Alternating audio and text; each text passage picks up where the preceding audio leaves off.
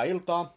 Kalja tai Kepponen, tervetuloa takaisin Kauhukimaran pariin ja Kauhukimara jatkuu. Sen verran vielä siihen edelliseen jaksoon nopeasti, että nämä, jotka teki Supermassive Games, jotka teki Until Dawn ja Quarryn, niin heillähän on tämä lyhyempien pelien sarja, mikä Dark Pictures Anthology, mikä menee samaa tyyliä kuin nämä, paitsi että Until Dawn ja Quarry on niin täyspitkiä elokuvia, ja ne on niin jaksoja TV-sarjasta vissiin. Mutta jos jotain kiinnostaa, niin laittakaa meille viestiä tai jotain, että jos te haluatte nähdä, niin kyllä mä voin ne pelata ja kokeilla ja tehdä sitten vaikka ensi kauhukimaaraan, tehdään niistä sitten jonkin sortin paketti, että jos siihen on kiinnostusta, niin kyllä mä voin ne hankkia ja pelata sitten, mutta ne ei kuulemma ole ihan yhtä hyviä kuin nämä. Mutta jos kiinnostusta löytyy, niin laittakaa Jussille viestiä tai jotain, niin katsotaan, kyllä me nyt jotain voidaan niille tehdä. Mutta sen kautta mennään sitten, ai niin, sen kautta mennään sitten Irlannin kautta Amerikkaan. Ja pieniä vihreitä miehiä. Ja tänään käydään läpi elokuvasarja, kauhukomediasarja, mun hu- suosikkeja, Leprechaun. Öö, niin, tää on Leprechaun on vuodelta, nämä alkoi joskus 93. Kyllä. Ja, juu, ja nämä jatkuu vissiin vieläkin mä, jos mä en ole ihan väärässä, niin uusi on kai tulossa mahdollisesti, mutta se alkuperäinen sarja, missä on tämä Warwick Davis, näyttelee sitä murhahimosta menninkäistä, tunnettu Willow-elokuvista ja Tähtien sodan Eevokkina ja mistä ikinä semmoinen lyhyt mies perusti Hollywoodiin ly- lyhytkokoisten näyttelijöiden jonkun liito ja kaikkea tämmöistä. Näyttelee to- tosiaan tämä murhahimosta menninkäistä ja hän näyttelee, ootas nyt, ykkönen, kakkonen, kolmonen, nelonen, In the Hood ja In the Hood Part 2 kuudessa elokuvassa tätä, ja mikä on kiehtovaa, niin se kai on, tää, kun te, siis kattokaa Leprechaun sarja ja kertokaa joku mulle, että pitäisikö se olla se sama saatanan menninkäinen joka kerta. Koska ne tavallaan käyttäytyy, kun se olisi se sama saatana elikko, mutta silti siinä ei ole mitään järkeä, että se olisi se sama elikko. Ja nelosessa ne vaan sanoo sitä nimellä Alien, ne ei edes sano sitä saatana, eikä ne selitä millään tavalla missään vaiheessa, miten spoilereita se menee nelosessa avaruuteen. Niin miten se on yhtäkkiä avaruudessa jollain toisella planeetalla, mutta omanen menninkäinen. Mutta niin tota, ensimmäinen elokuva piti olla alun perin ensinnäkin pelkästään perhekomedia, tyyli joku ET tai joku tämmönen, mutta sitten ne päätti tehdä siitä kauhuelokuvan jostain helvetin syystä. Niin tää on sekoitus, tää on kirjaimellisesti Väiski Vemmelsääri ja siihen heitetään vähän verta ja suolenpätkiä sekaan. Tää on niinku ihan Jennifer Anistonin ensimmäinen elokuva. Meidän tekniset ongelmat, onko ne siirtynyt pois? Toistaiseksi menee hyvin. Jennifer Anistonin ensimmäinen elokuva, Ää, muita tunnettuja tässä ei sitten juuri olekaan, mutta Jennifer Aniston ja Warwick Davis. Ja tämä alkaa siitä, että kun äijä on tulossa Irlannista viskipäissään kotiin Amerikkaa, silloin menninkäinen lukittuna laatikkoon neliapilalla, koska menninkäisten heikkous on neliapila jostain syystä. Ja sitten se menninkäinen hetkinen, se tappaa se äijä, mutta se on silti lukittuna sinne laatikkoon, koska sitten Jennifer Aniston ja se isä ostaa sen talon myöhemmin ja ne palkkaa semmoisen seksikkään nuoren miehen ja sen kehitysvammaisen kaverin remppaamaan sen kämpää. Ja jostain helvetin syystä, tämä on yksi juttu, niillä on sellainen pieni poika mukana, mutta kun se ei mun mielestä, ne ei sano kuka se pikku, onko se sen tyypin niin kuin, kaveri, onko se sen tyypin veli, serkku, vai tykkääkö nämä kaksi aikuista äijää hengata vain jonkun pikkupojan kanssa. Mutta joka tapauksessa ne tulee vissiin remppaan sitä kämppää ja sitten ne päästään sen menninkäisen sieltä vapaaksi. Ja sitten se, ei saisi sanoa nyt kehitysvammainen, mutta se on oikeasti kehitysvammainen se yksi kaveri niistä, niin se syö sen, sillä menninkäisellä on semmoinen kultapata, mistä se syö yhden semmoisen kolikon, ja sitten ne mun mielestä tuhlaa, kun ne löytää sen kultapadan, ne myös käyttää niitä kolikoita, ne ostaa jotain. Ja sitten tämän koko elokuvan loppuidea on se, että se menninkäinen vaan menee I want me gold, me gold, get me gold. Ja sitten se vaan tappaa kaikki, jotka tulee vastaan, Mu- mukaan luettuna hyppii hyppykepillä poliisin pään päällä, ja sitten se ajaa semmoisena, sillä on semmoinen oma pieni tuunattu auto, millä se ajaa, mikä on aika huikea. Ja plus, että näissä elokuvien parasta antia on se, että aina kun se menninkäinen saa osumaan, ja se saa osumaan, niin se on semmoinen pieni räsynukke, mikä aina lentää johonkin nurkkaan. Se on ihan huikein näköistä, etenkin kolmassa, kun se tippuu jostain hotelliikkunasta, niin se on... Se, eh, niin, sitten se lopussa se tappaa kaikki paitsi ne päähahmot. Ja sitten se pikkupoika ampuu neliapilan sen kurkkuun, muistaakseni lauseella fuck you Lucky Charms, ja se tippuu kaivoon ja räjähtää se menninkäinen. Ai, ja sitten jos sitä menninkäistä haluaa hidastaa, niin ilmeisesti, mä en tiedä, onko tämä jotain oikeata menninkäislorea, mutta jos heittää kaikki kengät lattialle, niin sen on pakko kiilottaa ennen kuin se voi jatkaa matkaa. Mä en tiedä, Jussi, meidän ekspertti irlantilaisista mytologisista olennoista, onko tämä oikeaa menninkäismytologiaa? Ei minä tiedä. Niin, selvittäkää itse. Leprechaun 2. Jostain syystä nyt menninkäinen on keskiajalla, ja sitten se on menossa naimisiin jonkun muijan kanssa, että jos aivastaa kolme kertaa ja kukaan ei sano niin kuin terveydeksi, niin susta tulee menninkäisen vaimo. Ja sitten semmoinen äijä, se, nyt silloin orjia muuten, koska se ei ollut tarpeeksi paha vielä ykkösessä. Niin se orista, se on menossa se orjan tyttären kanssa naimisiin ja sanoo terveydeksi ja se joutuu syystä tai toisesta ottaan tuhat vuotta puu alla. Leikataan nykypäivää ja sitten se haluaa semmoisen nuoren naisen vaimokseen, ja, mutta sillä on poikaystävä, joka on töissä jonkun vanha äijän kanssa, ne ajaa jollain hauta-autolla ympäri Hollywoodia ja vie kummituspaikkoihin turisteja. Ja niin, sitten se menninkäinen haluaa sen muija ja sitten ne taistelee taas sitä menninkäistä vastaan ja se menninkäinen tappaa jotain tyyppejä. No se ehkä elokuvan mieleenpainuvin kuolema on, että se menninkäinen muuttuu, muuttaa itsensä sen tytön, niin kuin, tytön näköiseksi ja sitten semmoinen toinen poika, joka on rakastunut siihen tyttöön, niin se ottaa paijan pois ja näyttää sille pojalle tissejä ja sitten se poika työntää päänsä niiden tissien väliin, mutta se onkin oikeasti ruohonleikkuri. Se, se on kieltämättä ihan kekseliäs tapa tappaa teinejä.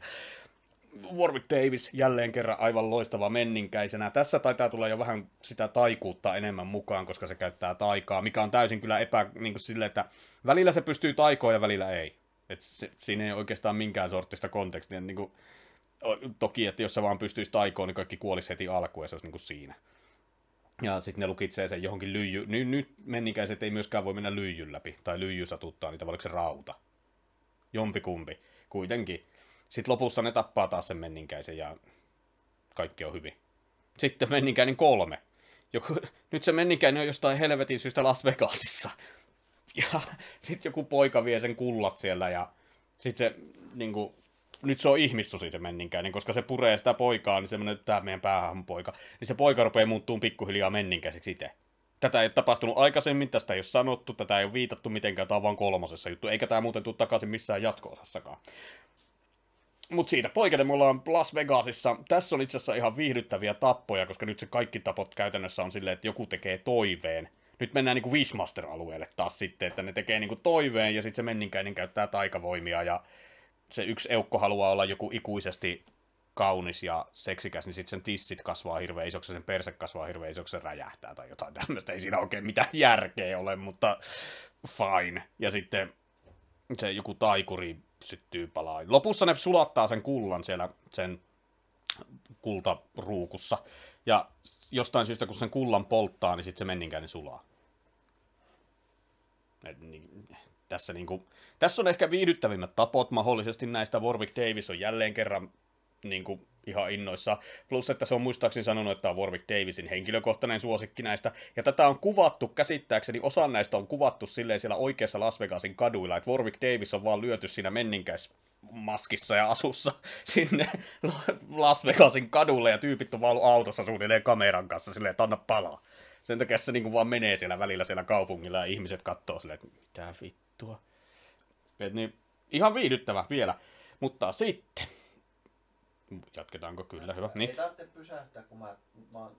Meillä on ollut teknisiä ongelmia. Joka tapauksessa, niin sitten mennään. Mä yritän kato, ostaa aikaa, että mun ei tarvitse puhua Leprechaun nelosesta. Leprechaun 4. Lyhyesti, lyhyesti ja ytimekkäästi tämän koko elokuvan nimi on Leprechaun 4 In Space. Ja Leprechaun avaruudessa ne käyttää sitä sanaa pelkästään alien. Se, sitä ei selitetä koskaan, miksi se on jossain planeetalla, miksi se yrittää mennä toisen planeetan prinsessan kanssa naimisiin. Mutta sitten avaruusmarine tappaa se ja pelastaa sen prinsessa, mutta sitten jostain syystä sitä menninkäisen möhnää menee äijän... Se kusee se haa ruumiin päälle tai jotain, sitten se menninkäinen menee sen penikseen ja räjähtää sieltä ulos myöhemmin. Ja sitten se rupeaa tappaan erittäin, erittäin pienellä budjetilla ja huonosti tehdyssä lavasteissa ihmisiä avaruusaluksella. Ja siellä avaruusaluksen kellarissa on myös joku hullu tiedemies, mikä muuttuu joksikin saatana robottihämähäkki Scorpionin jutuksi lopussa. Ja se ei ole niin coolia, miltä se kuulostaa. Tämä on huonosti näytelty, tässä on erittäin huonot efektit, tässä on niin kuin budjettia ei ole käytännössä ollenkaan. Warwick Davis yrittää parhaansa, mutta eipä tämä nyt oikein. Että niin kuin, tässä on kirjaimisesti käsikirjoitettu kohtaus, missä yksi nainen näyttää tissit kameralle ihan pelkästään sen takia, että ne selittää sen sillä, että sen planeetalla sanotaan päivää tälleen. No, mutta nähtiinpähän tissit. Um, siinäpä se lopussa ne käyttää jotain suurennusasetta ja menninkäinen muuttuu jää valtavaksi ja sitten se räjähtää avaruuteen ja näyttää keskisormea kameralle. Si- sinulle katsoja rakas. Että, niin, kiitos kun katsoit tämän. Tää on, tää on niinku huono. Tää on, voi Jeesus Kristus. Mulla oli täystyö päästä tämän läpi. Että niin, tää on, tää on, tää on jotain aika karmeita paskaa. Ja mun mielestä Leprechaun meni sitten vähäksi aikaa tämän takia jopa horrokseen.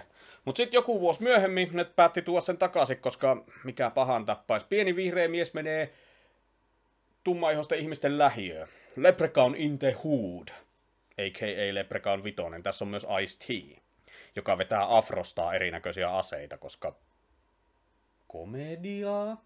Nyt se menninkäinen on patsas jostain syystä tässä alussa, ja silloin on semmoinen koru kaulassa, jos se koru ottaa pois, niin se herää henkiin.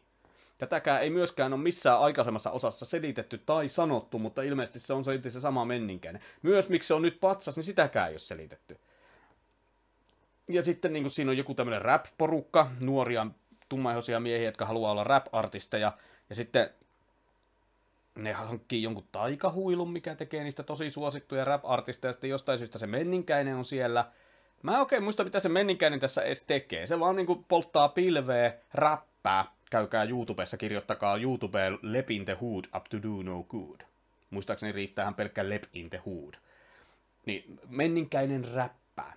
Kertoo erittäin huonoja irlantilaisvitsejä, on pilvessä, muistaakseni ryyppää jonkun tyypin kanssa kilpaa, se tappaa porukkaa. Itse asiassa se on tässä tai sitten se on In the Hood kakkosessa, mutta se tappaa sen yhden tyypin semmoisen homoseksuaalin, onkohan se nyt joku kahvilan pitäjä, että kun se menee krapulassa sinne kahvilaan ja sitten se juo kahvia ja tappaa sen pitäjä, niin se on se sama tyyppi, mikä on Saturday äh, Matt TVstä. Tää, siis Michael Myers tappaa sen tuossa Halloween Killsissä. Se on se Big, mitä ne oli ne kaksi homomiestä, toi Big Ted ja Small Ted, Little Ted, mitkä ne kaksi tyyppiä, jotka asuu siinä Myersin talossa. Killsissä. No kuitenkin tiedät hahmot. Niin, juu, niin se pitempi niistä, se blondi vaaleihoinen mies, niin se on tässä, ja menninkäinen tappaa sen tässä. Ja, ja sitten lopussa ne tappaa sen menninkäisen jollain. Tämä on niinku vähän semmonen, että niinku, mitä? Mutta huomattavasti parempi kuin nelonen. Sitten tulee Leprechaun in the Hood 2. Tämä on kirjaimisesti taas samaa touhua. Mä... Se menninkäinen on taas hengissä jostain syystä, jos siellä on joku rakennusprojekti, jossain kirkkoalueella, mikä on rahoitusvaikeuksissa ja sitten ne löytää, tässä ne taitaa, löytääköhän ne nyt sen menninkäisen kullan tai jotain, ne nuoret, nuoret ja ne käyttää sen rahaa, ja se menninkäinen tulee taas tappaa kaikki ja yrittää saada rahansa takaisin. Ja jälleen kerran, koska ollaan huudilla, niin poltetaan pilveä ja silleen, ja sitten menninkäinen on hauska, koska ne ei käytä N-sanaa tässä, vaan ne käyttää N-sanan, no te tiedätte mitä mä tarkoitan, niin ne käyttää sen tilalta sanotusta ninja, you ninjas, my ninjas. Ja sitten se menninkäinen luulee, että niin puhutaan, niin se pitää sillä irlantilaisella aksentilla huutaa vaan ninjaa kaikille. Ei rasistista kai. E, niinku, silleen, mutta Warwick Davis yrittää parhaansa ja niin kuin on tääkin edelleen, tää on ihan viihdyttävä katsoa lopussa se haudataan sementtiin, koska rakennustyömailla on märkää sementtiä ilmeisesti aina öisi. Mutta niin, ei tämä nyt mikään mestariteos ole, mutta on tämä siltikin parempi kuin se nelonen. Et niin, ihan kattomisen arvoinen. Menninkään ei taida räpätä valitettavasti tässä. Et niin kuin, ja siihen päättyy Warwick Davisin leprekaunit, että niin kuin, jos näitä haluaa katsoa, niin ensimmäiset kolme. Ihan niin kuin voin suositella, ne kauhukomedioina ihan menevät. Nelonen on ihan hirveätä paskaa. Ja Inte Huurit, että jos niinku tykkäsit ykkösestä ja kakkosesta ja kolmasesta, niin mikä, että ei, ei ne nyt niinku mitenkään raivostuttava huonoja ole. Että tosin ne vaan menee enemmän komedian suuntaan kuin mihinkään muuhun, mutta... Sitten on VVE, tämä vapaa juttu toi myöhemmin takaisin, mikä Leprechaun Origins, mikä se oli? Origins, joo. Siinä ei ole Warwick Davis, siinä on tämä niiden Hornswoggle kääpiöhahmo näyttelee menninkäistä, ja se ei ole enää semmoinen irlantilaiseen asuun pukeutunut, vaan se on semmoinen feraali pikkunen mutantti jossain metässä, mikä syö ihmisiä. Erittäin huono, ei kannata katsoa. Ja sitten Netflix toi Leprecaunin takaisin, sitä mä en muista kuka sitä näyttelee siinä uudessa. Mutta se on tää Halloween juttu, että se, se, se on muistaakseni ihan nimellä Leprechaun Returns vai mikähän se on. Tos. Joo, niin tota, se on suora jatko-osa sille Leprechaun ykköselle. Siinä tulee takaisin tää, spoilereita se selviää hengissä, se kehitysvammainen kaveri siitä ekasta elokuvasta, niin sen näyttelijä tulee takaisin ja se näyttelee samaa hahmoa ja se on siellä samalla talolla. Ja niin kuin, ilmeisesti niitä muita osia ei tapahtunut siinä välissä, koska se menninkäinen herää sieltä kaivosta ja sitten se rupeaa taas tappaa ihmisiä siellä. Ei mikään järkyttävä hyvä, et niin kuin, en, en, nyt ihan välttämättä, mutta toisaalta taas sitten, että jos sä oot kattonut Inte Hoodiin asti nää, niin se on Netflixissä ilmaisena, että jos sulla on Netflix, niin miksei. Et, ei se, sekin on ihan niin kuin ok. Mutta ne ensimmäiset kolme on ehkä ihan semmoinen suositeltava. Tän saa tän DVD-boksin, muistaakseni CD on niistä 40. Että eli tota, silleen. Nää on ihan, ne, ne on aikansa, siis niinku, parempia kuin, niin kuin siis silleen, onhan nämä nyt niin kuin huomattavasti parempia kuin tota, suuri osa niin kuin 90-luvun muista kauhuelokuvista. Et eihän nämä nyt pelottavia ole, eikä niin kuin nämä ole enemmän melkein, mitä pitemmälle mennään, niin enemmän komedioita kuin mitään, mutta eli ihan siis ensimmäistä kolme voi suositella oikein lämpimästi. Pikkunen mies menee sille Mikold, Mikold, heittää huonoja irlantilaisvitsejä ja sitten myöhemmin räppää. Niin, Miksei? Et niin kuin, jos sulla on aikaa tappaa, niin siitä sitten ja nelonen ihan täysin omalla vastuulla, koska se ei, se, se oli raivostuttava huono. Et niin, sillä tavalla. Et kattokaa, Leprechaunit, varsinkin ne ensimmäiset kolme mun puolesta, ne on oikein hyviä ja ensi jaksossa sitten mä en vielä tiedä, katsotaan mihin päin me lähdetään ensi jaksossa, mutta niin, mitä? Vielä tähän viimeisen tota, niin, pieni äh, knoppitieto. Äh, tota, niin, Cult of Jackissa sen Jackinukeen tota, niin, äh, body doublena on toiminut sama tyyppi, mikä on tässä Leprechaun Returnsissa Leprechauni. Ai oo. Kyllä. Okei, okay, hyvä. Hyvä teille, herra Chuckin bodytuplamies. Ei mitään. Ensi jaksossa katsotaan, mihin me päädytään taas seikkailemaan, että niin... Kiitos kun katsoit tämän osan kauhukimaraa ja mä oon Aksu, toi on Jussi pimeydessä ja ei muuta kuin Kalja ja Kepponen ja hyvää yötä.